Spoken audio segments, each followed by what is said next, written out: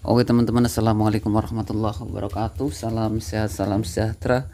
Salam bahagia kembali lagi dengan kami di Alien Rapid Kebumen Channel yang membahas tentang keilmuan wawasan dunia kelinci eh, Teknik keilmuan breeding dan wawasan breeding atau budidaya kelinci Khususnya untuk teman-teman sahabat peternak kelinci pemula yang ada di seluruh Indonesia.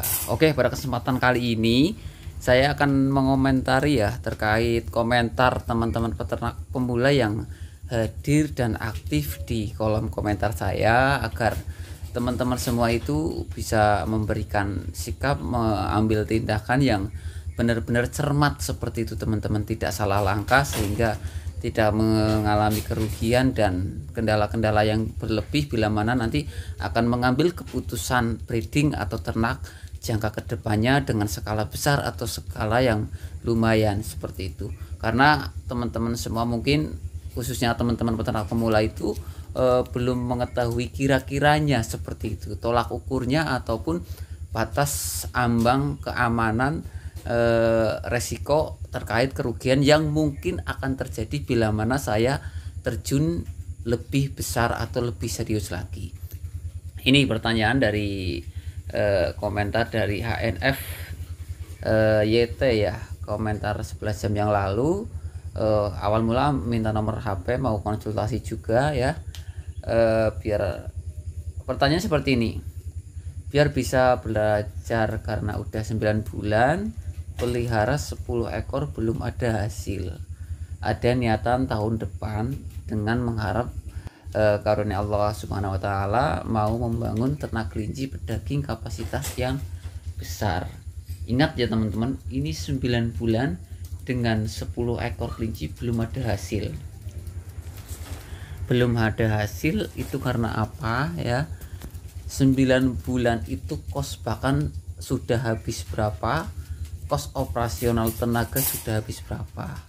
Ya.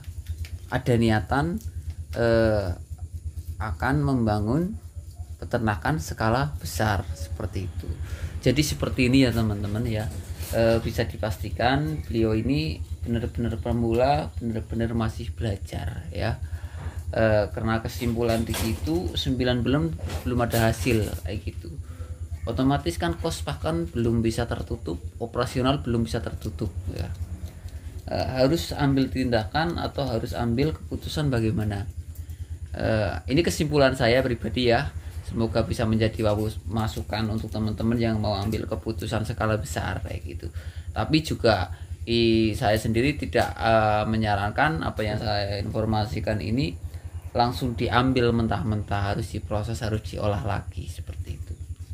Jadi terkait panjenengan mau ternak skala besar tapi dengan berjalannya waktu baru 9 bulan belum ada kos operasional tertutup belum ada keuntungan ya menurut saya jangan dulu kayak gitu.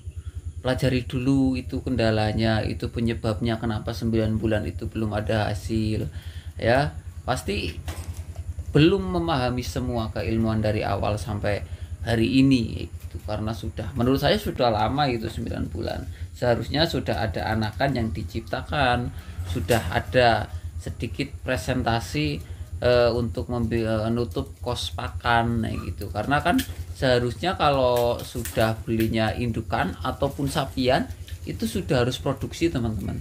Itu karena usia umum produksi kan di angka 6 bulan. 6 bulan sampai 7 bulan tiga bulannya sudah untuk bisa pembesaran dan panen kayak gitu.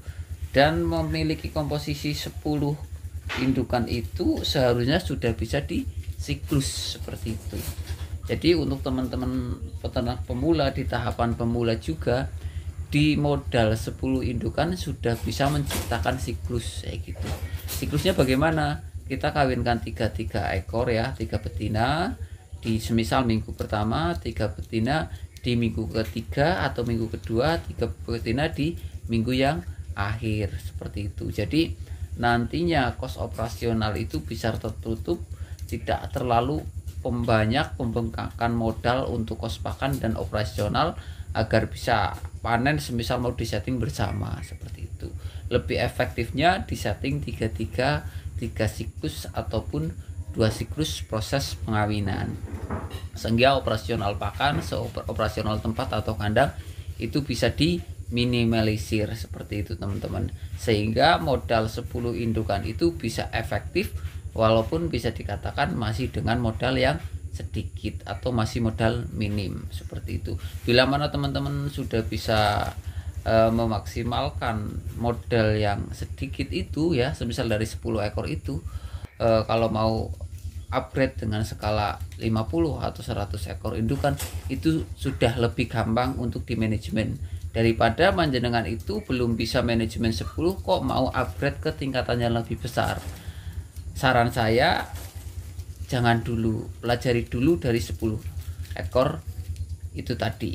Maksimalkan potensi yang ada modal yang ada baru kalau sudah bisa margin ada yang keuntungan yang lebih dari 10 itu baru upgrade pelan-pelan. Karena masih ada tantangan dan kendala-kendala yang lain di depannya. Mungkin itu informasi yang bisa saya sampaikan pada kesempatan kali ini. Semoga menjadi manfaat yang baik untuk teman-teman semua. Jangan lupa like dan komentarnya.